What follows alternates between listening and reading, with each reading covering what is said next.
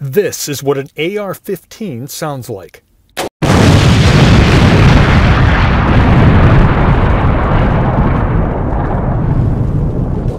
Now those are single shots. If I wanted to fire this on full semi-automatic, full semi-automatic,